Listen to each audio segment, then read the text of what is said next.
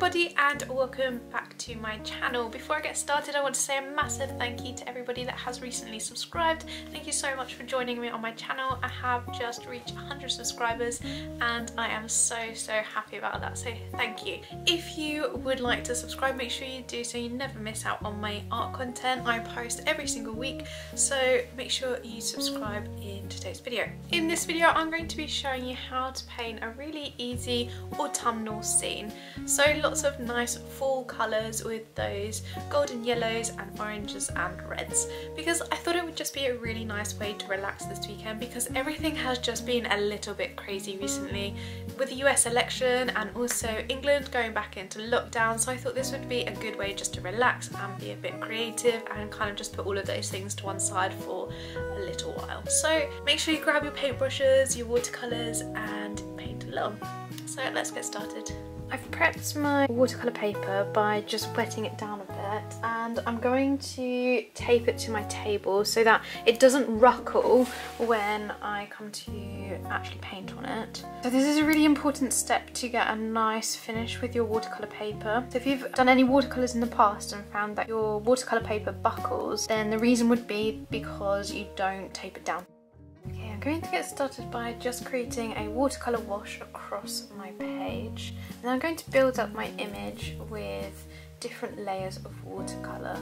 So I'm going to start with a really light colour and then I will build up on that. So I'm using my watercolours that came in a tube rather than a pan of watercolours.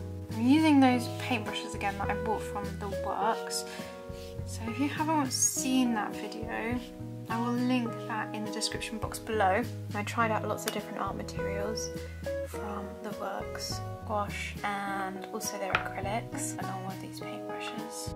So I'm kind of stippling this on here because I want to still maintain some of that yellow coming through underneath for the time being until I've decided what I actually want to do with this paint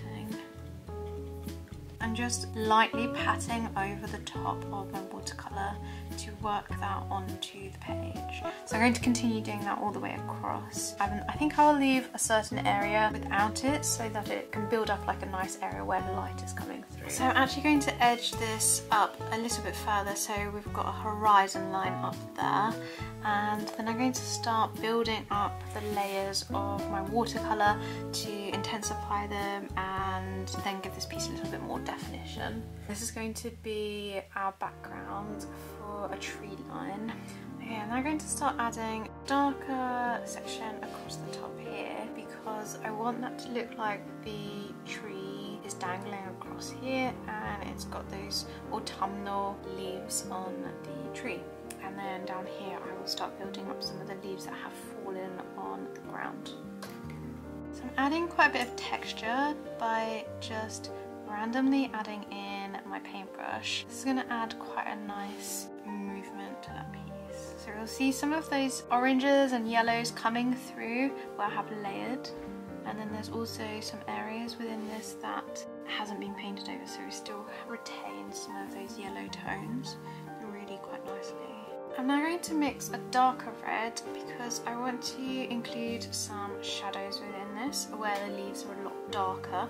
So I'm just mixing up some my burnt sienna with my crimson red and I'm just mixing that together to create a really dark shade of a red and then I'm going to apply that to some areas within my painting. I only want to go lightly for now though, in case I decide that I don't want that in there and then I can lift that out. I just need to fix this area because I placed in my shadow but then decided I didn't actually want that running all the way up to my horizon line. So I have removed that out with some water and I'm just placing some colours back into this area where it had also removed some of those colours that I obviously didn't just going to fix that area. So to remove your watercolours you can use water on a clean paintbrush to remove any areas that you don't want or you can use a piece of paper towel if you lightly dab that onto your paper. So you need to make sure your paper towel is actually a little bit damp and then you would place it on the same way as I did with my paintbrush and you can just soak up the watercolours that you don't actually want onto your onto your paint.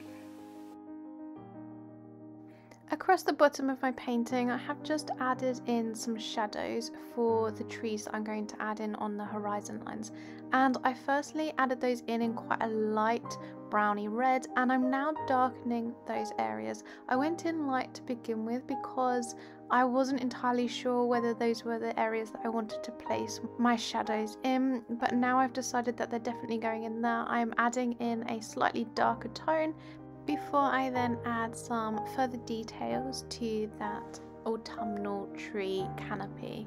Now I'm going to darken certain sections and again I'm using that stippling effect so that I can still see some of my colours from underneath. I still want to see some of those yellows and some of those oranges and then I follow that same step along the bottom of my painting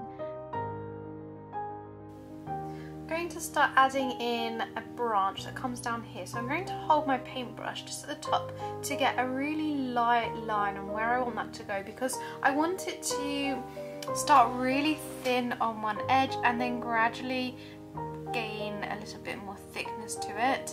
So I don't want to put too much pressure on my paintbrush and I also want it to look a little bit more realistic. So I've just got a little bit of dark brown, so I've got a burnt umber on my paintbrush and I'm going to now pull that across. I need to loosen that a bit, it's a bit dry. And I don't want too much paint on my paintbrush because I don't want it to be too thick. So I need to try and find the right balance of my paint. I go up, I'm going to slightly push down on my paintbrush just to widen the bristles. And you can see that it is a slightly more realistic looking branch because it's a bit thinner down this end, although not as thin as I would like, but that will be fine. I'm just experimenting. It's not, I don't want to put too much pressure on myself, so I'm just experimenting with. I think that's the important thing to do when you're painting or trying out different art techniques is not to put too much pressure on yourself, no, to make it look perfect first time. I'm now going to start adding in the tree trunks. I'm going to pull those up from the horizon line up to the top of my painting and I'm using that same dark brown that I used for the branches making sure that the bottom of the trunk is much much darker because that's where the light is not going to be able to hit and as I go up the page my painting actually gets lighter so I remove some of that colour from my paint just by adding a little bit of water to loosen that paint ever so slightly. As you can see on the trunk that I'm currently painting I leave a gap in the middle of the tree trunk. This is because the area within the middle is the brightest where that sunlight is streaming in and that would naturally leave a very very bright highlight on that area of the tree trunk. Also make sure that on the tree trunks I'm now painting I add in some yellow highlights on one edge because again that light is really bright and it's got a nice warm hue to it so it would reflect on that side of a tree trunk. Once I have added in my tree trunks, I then refine the very background of my painting and I add in a slightly darker tree line along that horizon line. So I'm just making sure that I get the impression of the trees in, in the background.